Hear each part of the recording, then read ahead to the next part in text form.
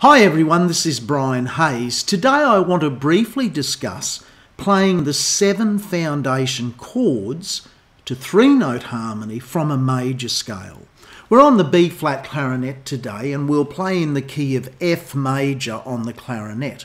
So the seven unique notes in an F major scale are F, G, A, B flat, C, D and E. And of course we've got the octave F at the end. If we harmonise each one of those notes to its three note foundation chords, we end up with what I'll now put on the screen for you, the seven unique chords when harmonising a major scale to three notes. So we'll end up with F major, G minor, A minor, B flat major, C major, D minor, E diminished, and then we end back on F, up an octave. Now, the real important thing to learn here is that pattern, because that pattern is true across all 12 starting pitches of the major keys and across all 15 named major key signatures. What I mean by that is if we shifted to the key of C major, the notes in a C scale are C, D, E, F, G, A, B, and then the octave C. The seven foundation chords in the key of C major to three note harmony would be C major, D minor, E minor, F major, G major, A minor, and B diminished. I'm going to play the harmonised chords now in the key of F major on the B flat clarinet. This is not a reading exercise. I've just put the notes there to help you understand what those three notes are for the relevant chord symbols.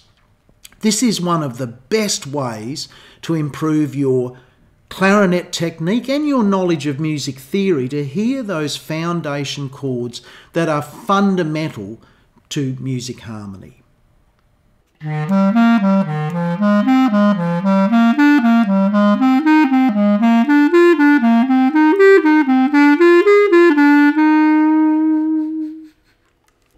everyone, this is Brian Hayes. I really hope you enjoyed today's music instruction video. If you did, then you've joined the millions of viewers who have benefited from content on my free music education YouTube channel.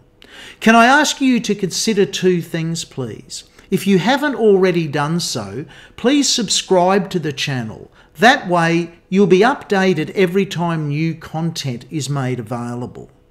Secondly, if you are in a position to do so, please consider making a donation towards the ongoing costs of producing these videos. It's safe and easy to do so. It's done via PayPal. There's a make a donation link on the home page of this channel under Home About. And there's also a donation link in the text for every video. Rest assured that any and all monies received will be reinvested in making this channel the best, most informative, content rich music education channel of its kind anywhere on the internet. Thank you and bye for now.